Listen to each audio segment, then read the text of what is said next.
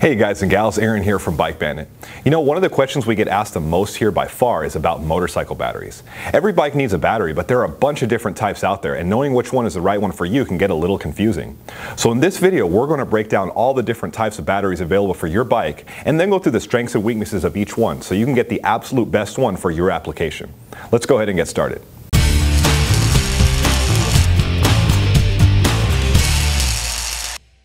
Okay, here's a quick rundown of what we're going to go over today. First, we'll talk about the workhorse of the battery world, the lead acid battery. Next, we'll get into the most modern variation of lead acid technology, the AGM battery, and show you how it differs from the old school lead acid type. Then we'll talk about the new kid on the block in the motorcycle battery world, the high-tech lithium iron battery. Then to wrap it all up, we'll compare all these batteries against each other and discuss what applications they work best for, so you can decide which one will be the right choice for you and your bike. And remember, we know batteries can be a confusing topic, so if you have any questions at all after watching this video, you can give us a call at the number on your screen, or simply leave us a comment on YouTube, and we'll get back to you right away. Okay, first up, let's talk about the time-tested and reliable lead-acid battery like this one from BikeMaster. The technology in these things has remained essentially the same for 150 years, and it is still going strong in the motorcycle and automotive industries because it's simple, it's cheap, and it works. The lead acid battery is the workhorse of the battery world, and almost every motorcycle you buy is going to have a lead acid battery in it from the factory. Lead acid batteries get their name from their composition.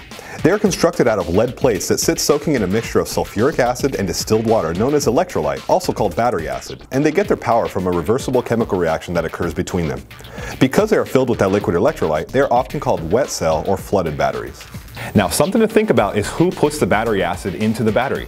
The most basic batteries will show up empty and you'll need to fill them with acid yourself to activate them, either with battery acid you get from the auto parts store or with pre-filled vials that are included with the battery.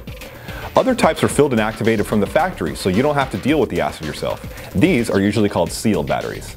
Now here's a tip. When shopping on our site, you can actually sort between batteries that ship with no acid, those that come with pre-measured vials, and those that come activated and sealed from the factory, as you can see here. This makes it easy to pick the right type of battery that you're most comfortable with so that there are no surprises when your new battery shows up at your door. Okay, now that you know how lead acid batteries work, let's talk about the advantages they have over other types of batteries. First of all, they are cheap. These batteries have been around forever and their chemical composition is nothing fancy, so at around 40 to 60 bucks for most motorcycle batteries, they're by far going to be your most inexpensive option. They're also very reliable. They work in cold or hot weather and will last many years if you just give them the very basic maintenance they need. They're also widely available. Lead acid batteries work in almost every application you can think of. And no matter what you ride, it's usually easy to get one that will work for you. On the other hand, lead acid batteries do have a number of disadvantages too.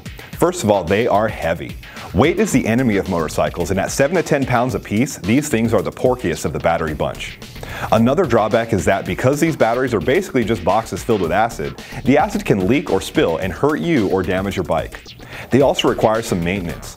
Most lead acid batteries require that you check the water level and refill as necessary, and if corrosion builds up on the terminals, you also have to scrub that off in order for them to work properly.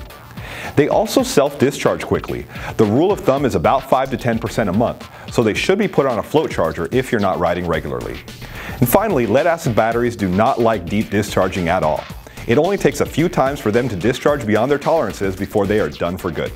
Okay, so we know that basic lead acid batteries work well, but that they do have a number of drawbacks. But now we'll show you the most modern variant of the lead acid battery, the AGM battery, and show you how it takes lead acid technology and damn near perfects it. AGM stands for Absorbed Glass Mat, and they are a sealed variety of motorcycle battery. Here's how they work. Instead of the lead plates sitting in liquid electrolyte, they are surrounded by fiberglass mats that have the electrolyte soaked into them, hence their name. Basically the same chemical reaction as a traditional lead acid, but they work much more reliably and efficiently. AGM batteries have many advantages over regular lead acid batteries. First, they are maintenance free, and since the acid is captured by the glass mats, it won't spill, which makes them safer. They also perform better. An AGM battery will have more cold cranking amps than a lead acid battery of the same size, will charge much faster, and be lighter as well. They also have a longer service life, take abuse well, and work very reliably in all weather conditions. In addition, they have a very low self-discharge rate, usually around 1 to 2% a month, so they will hold a charge a lot longer without use than a lead acid battery will. So with all those improvements, it sounds like there's no downside to an AGM battery, right? Well yes, AGMs are a vast improvement over lead acid batteries, but you do have to pay for all those advancements because an AGM battery will run you about 70 to $100 for most motorcycle applications. Now while we're talking about AGM batteries, there's another variant of lead acid battery that you've probably heard about before, a gel battery. Gel batteries follow the same basic concept that a lead acid battery does, but the lead plates are suspended in a gel electrolyte rather than in a liquid. Gel batteries are best for deep discharging, so you see them used a lot in power storage systems, such as solar energy systems or on RVs and boats. They aren't really used much in power sports applications anymore, though you do still hear people sometimes talk about gel batteries, when in fact more than likely they are actually referring to either AGM or sealed batteries. Now one partial exception is this battery, the BikeMaster True Gel. This actually combines AGM and gel technology by using a gel electrolyte captured in fiberglass mats. So it really gives you the best of both worlds, the ruggedness and performance of an AGM battery and the deep cycling ability of a gel. We sell a ton of these at Bike Bandit and get great reviews on them. The downside, these are a little bit more expensive than regular AGM batteries, coming in at about 80 to $120 for most motorcycles. So we learned about both traditional lead acid batteries and the more modern AGM batteries, but there's a new type of motorcycle battery on the market today that uses a completely different type of chemical composition to create energy, the lithium iron phosphate battery, also just called lithium batteries for short. No lead or acid here. These use a chemical reaction between lithium and iron to create energy. Since no liquid acid is used, they are also referred to as dry cell batteries. Now when I first did my installation video on lithium iron batteries, I mistakenly called it a lithium ion battery. Here's the thing, lithium ion batteries are the kind of batteries that power laptops and cell phones, and while they are extremely energy dense, they also create a lot of heat and can actually explode. Lithium iron uses a more stable chemistry that is a little less energy dense but much safer, so it's perfect for use in vehicle applications. And because lithium-based battery technology is continuously being developed, it's pretty safe to say that these really are the batteries of the future in the power sports world. Lithium batteries have dramatic performance advantages over lead acid batteries. First of all, they are much lighter than comparable lead acids, usually about one quarter to one third of the weight. They also have massive cranking amps. Install one of these and you'll hear your bike crank faster and fire up harder than ever before. They have very low self-discharge too, about 1% a month, and recharge very quickly. And because they are dry cells with no lead or acid, they are non-toxic, won't leak, and can be mounted in any position. The downsides? Well, all this technology comes at a price, of course. Lithium batteries range from about $100 for a BikeMaster all the way up to over $200 for a premium brand like a Shorai or a Ballistic. They also have lower amp hours than lead acid batteries, so if you have a bike with a lot of parasitic draw, bikes with a lot of electronics are usually the worst offenders, they will drain a little bit faster. But the biggest thorn in the side of many lithium users is the cold starting performance. At under 40 degrees or so, lithium batteries tend to get a little sluggish, and they do have to be warmed up manually, usually by running the headlights for a few minutes before they start acting right again. In addition, although it's possible to charge a lithium with a lead acid battery charger, it's tricky to do it right, and you really should buy a battery specific charger, which is an additional expense. Okay, so now you know about lead acid batteries, AGM batteries, and lithium batteries, and what their strengths and weaknesses are.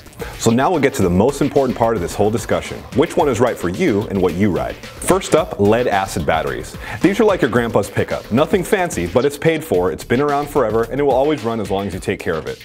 If you want a battery that will work reliably and save you money, and you don't mind the weight and maybe a little extra maintenance, traditional lead acids are the batteries for you. If you're looking for a straight OEM replacement, you'll probably end up with a lead acid battery like this Yuasa, which comes on most bikes from the factory. Just remember, these lose power the fastest of all battery types, and we strongly recommend installing a float charger like a Battery Tender Junior to keep it charged and running strong. Take care of a good old lead acid battery and it will take care of you. Next up, AGM batteries. These are like the Jeep Cherokee of batteries. Premium features and a little higher price tag, but it'll get the job done in sun or snow, on or off road. These are the best all-around batteries for the price and are the premium battery choice we would recommend for most applications. They perform well in a wide range of conditions, are rugged and durable, last a long time, and require almost no maintenance. AGMs have the most strengths and the fewest weaknesses, and for just 20 or 40 bucks more than comparable lead acids, they are a great value. If you want the best battery you can get with the fewest headaches, this is going to be the right battery for you. Now for the last battery in our breakdown, lithium batteries. This is the Corvette of the battery world. A little pricey, kick-ass performance and very high tech, but not your first choice for ruggedness and when it's snowing out, forget it. Basically, lithiums are going to be the best choice for all you high performance riders. These are super light, so if shedding weight is important to you, this is going to be one of the best bang for the buck mods you can do. We weighed this BikeMaster lithium battery against the equivalent BikeMaster AGM battery, and it only weighed 2.45 pounds against the AGM's hefty 10.1 pounds. So if you're a racer or a track rider, you shouldn't even be thinking about any other battery. Lithium batteries are awesome and I really like them, but remember, they get a little finicky in the cold and need to be treated special.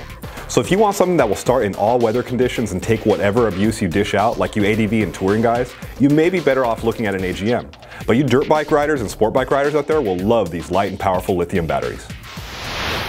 Well, we hope that our little comparison here helps clear up some of the confusion about different types of motorcycle batteries and what they're best for, and that it gives you the info you need to choose the perfect battery for you. Remember, all of these batteries are great in one way or another, but if you treat them like crap, none of them are going to last. So choose the right battery, take care of it, and it will take care of you. If you have any questions at all about what battery you should buy or how to take care of it, all you have to do is pick up your phone and call the number on your screen. And hey, why not save it in your phone too so you have it for reference in the future? We're always here to help. And remember, you can also just leave a comment right here on the video and we'll get back to you right away. Also, please support us by subscribing to our channel where we post more helpful videos like this one every week. Thanks a lot for watching and we'll see you next time.